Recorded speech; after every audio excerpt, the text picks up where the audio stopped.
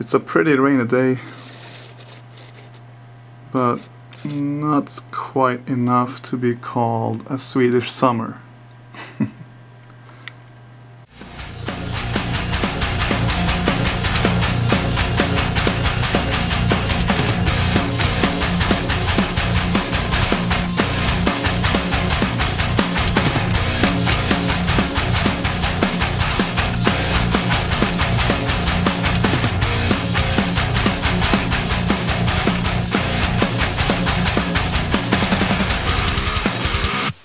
Wow, nice clouds.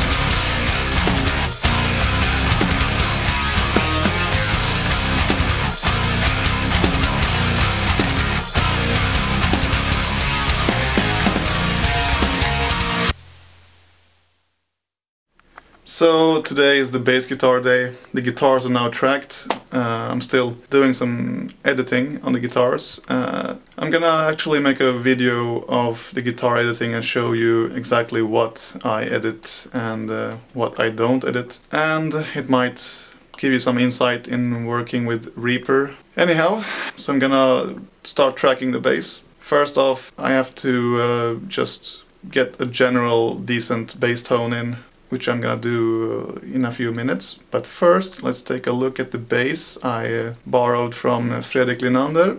Let's get some focusing on that. Don't really know much about this bass except for it's a Yamaha with the, you know, bling bling gold hardware. Let's take a look down here at the body. Yamaha pickups. I don't really know much about them, but it does sound good, so it shouldn't really be a problem. It's all up to me and how I play it.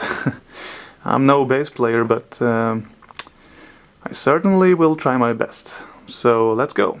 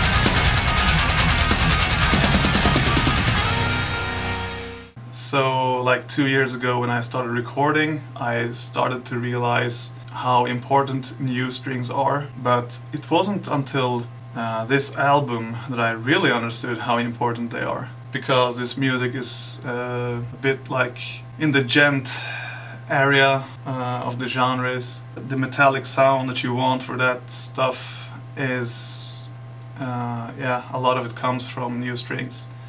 So one day I was sitting and recording and uh, I thought like, man, this sounds crap. I had uh, a guitar chain in Reaper that I had worked on for several hours and I just couldn't get it to sound good. So I just changed the strings. The sound changed. It was fantastic. Uh, I can't really stress that enough. Um, don't think new strings are not needed. It depends on the music style, of course, uh, but if you want that percussive, sharp, metallic sound, you definitely need new strings, and that same goes for bass and normal guitar and everything, really. So do not underestimate the power of new strings.